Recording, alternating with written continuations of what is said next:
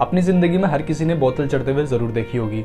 दोस्तों, जब बोतल चढ़ती है तो क्या चीज़ें होती हैं हमारी बॉडी में? हमारी बॉडी कैसे रिएक्ट करती है? और बोतल क्यों चढ़ाई जाती है? देखा होगा, हम हॉस्पिटल जाते हैं, बहुत सारे पेशेंट्स होते हैं बेड पे लेटे होते हैं, उन्हें बोतल चढ़ रही होती है। या फिर छोटे मोटे क्लिनिक पे भी देखा होगा, पीछे वो बेड डाल के रखते हैं, वहाँ पे पेशेंट्स को ड्रिप लगी होती है बॉटल चढ़ रही होती है और वो लेटे होते हैं।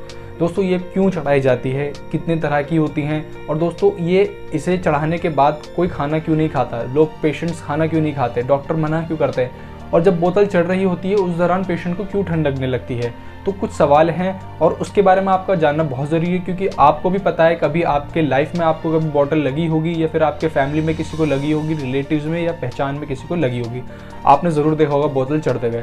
थोड़ी नॉलेज इसके बारे में आपको ज़रूर होनी चाहिए। दोस्तों, इस वीडियो में मैं आपको बताने वाला हूँ ड्रिप के बारे में किस तरह से बोतल चढ़ती है, क्यों चढ़ती है और इसके क्या नुकसान है। अगर ओवरडोज हो जाती है तो क्या हो सकता है। साइकिल चैनल को ज़रूर सब्सक्राइब करें दोस्तों और बेलाइकन को साथ में दबा दें ताकि इसी तरह की लेटेस्ट वीडियो और आपके काम आने वाली वीडियो आपकी लिए जो जानकारी भरी वीडियो हो सकती है, वो आप तक इजीली पहुँच जाए और दोस्तों बेल आइकन को ज़रूर दबाया करें ताकि इजीली आप तक वीडियो पहुँचे। और वीडियो को लाइक करें, चलिए आगे बढ़ते हैं, वीडियो को शुरू करते हैं। तो दोस्तों, यहाँ मैं बात कर रहा था आपसे कि बोतल किस तरह की होती है। दोस्तों, बोतल जो होती है, जब हमें कमज़ोरी हो जाती है, जब या फिर एक्सीडेंट के बाद जब किसी को एक्सीडेंट होता है ब्लड का काफ़ी ज़्यादा लॉस हो जाता है, काफ़ी बह जाता है बॉडी से खून बह जाता है, उसके बाद कमज़ोरी आती है। उस कमज़ोरी से बचने के लिए बोतल को लगाया जाता है या फिर डिहाइड्रेशन होती है। दोस्तों, या फिर उल्टी दस्त लग जाते हैं। पेट खराब होने के कारण उल्टी दस्त लग जाते हैं, तब दी जाती है या फिर बहुत ज़्यादा कमज़ोरी चक्कर आते हैं, उस वक्त आपको ग्लूकोज की बोतल लगाई जाती है और बहुत सारी तरह की ये बोतल आती है, जैसे D five D ten R L D N S तो इस तरह की बोतलें जो आती हैं, ये हम इनको ड्रिप कहते हैं। और ये किस तरीके से लगती है? तो दोस्तों, सबसे पहला सवाल था कि लोग कहते हैं कि जब बोतल चढ़ रही होती है, उसके बाद खाना क्यों नहीं खिलाते? हैं तो सबसे पहले समझने की आपको ज़रूरत यहाँ पर यह है कि जब हमारे बॉडी को ग्लूकोज ऑलरेडी मिल रहा है तो हमारी बॉडी को बाहर से लेने की ज़रूरत नहीं है।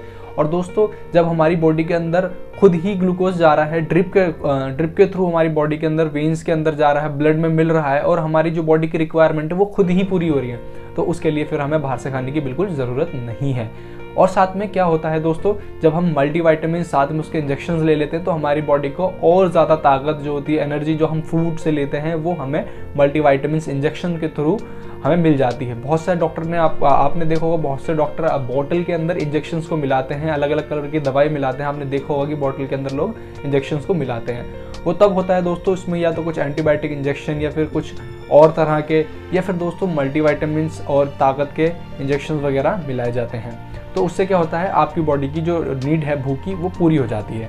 तो दोस्तों, आपका ये कंसेप्ट क्लियर हो गया होगा और दूसरे कॉन्सेप्ट चलते हैं और अब बात करते हैं। दोस्तों, जब लेटे होते हैं और बहुत से लोग पूछते हैं कि बोतल को सिर्फ़ लेट के ही क्यों लगाया जाता है? तो दोस्तों, मैं यहाँ पे क्लियर ये करना चाहूँगा, जब आपकी बॉडी लेटी होती है, जब आप लेटे होते हैं फ्लैट होते हैं, तब जो आपकी बॉडी के अंदर कैंडल लगा होता है अपने हाथ के अंदर, वो ईजिली मूव करता है और हाथ से निकलता है बॉटल से निकलता है लिक्विड वो धीरे धीरे आपके पूरे बॉडी के अंदर चला जाता है। उससे क्या होता है, आपका जो कैंडल वो स्मूथ वर्क करता है। जब आप बैठेंगे तो ऐसा भी हो सकता है कि आपकी वेन्स ब्लॉक हो जाए या फिर कैनबुला निकल जाए तो इस तरह की चीज़ें भी हो सकती है। तो प्रिकॉशन हमें ये ध्यान रखना होता है कि वो कैनबुला या फिर वो ड्रिप ना निकले, ना ब्लॉकेज हो, ना फिर हमारी जो ड्रिप है उसकी स्पीड बढ़े या कम हो। तो ये चीज़ों का ध्यान रखना पड़ता है। इसलिए ज़रूरी है कि पेशेंट का लेटर रहना बहुत ज़रूरी होता है। और दोस्तों, तीसरी बात यहाँ पर मैं आपसे करना चाहूँगा कि जब बोतल लगती है तो खुद ब खुद ठंड सी महसूस होने लगती है। ऐसा होता है कि हमारी बॉडी का जो एक नॉर्मल टेम्परेचर है, हमारी बॉडी का जो इनिशियल जो टेम्परेचर होता है, मेंटेन रखती है, वो थर्टी सेवन होता है। तो जब हमारी बॉडी जब अपना टेम्परेचर खुद मेंटेन करती है, सर्दी हो, गर्मी हो तो वो खुद एडजस्ट करती है बाहर के टेम्परेचर को देख के। तब होता क्या है, जो हमारी बॉडी है, वो मेंटेन करेगी थर्टी सेवन डिग्री। तो दोस्तों, क्या होता है, जब हम बोतल बाहर से लगाते हैं तो हमें नहीं पता उस बोतल का टेम्परेचर क्या है। जो उसके अंदर इंजेक्शन मिलाए गए हैं, उसका टेम्परेचर क्या है तो वो वेरी करता है। तो उससे होता क्या है, हमारी बॉडी को ठंड लगती है। हो सकता है बॉटल का टेम्परेचर नीचे हो और हमारी बॉडी का टेम्परेचर थोड़ा ऊपर हो। तो उसको एडजस्टमेंट करते करते जब बॉडी कंट्रोल होती है, ठीक है, उसके बाद बॉडी को ठंड लगना शुरू हो जाती है। तो आपके तीसरे क्वेश्चन का जवाब ये रहा। दोस्तों, क्योंकि बॉडी का टेम्परेचर अलग होता है बॉटल का टेम्परेचर अलग होता है, जिसके कारण हमें ठंड लग सकती है।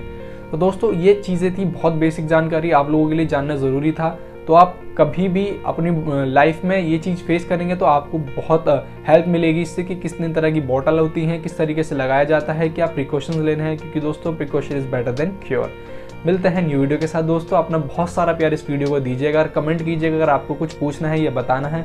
मिलते हैं न्यू वीडियो के साथ। दोस्तों, तब तक के लिए धन्यवाद। जय हिंद दोस्तों।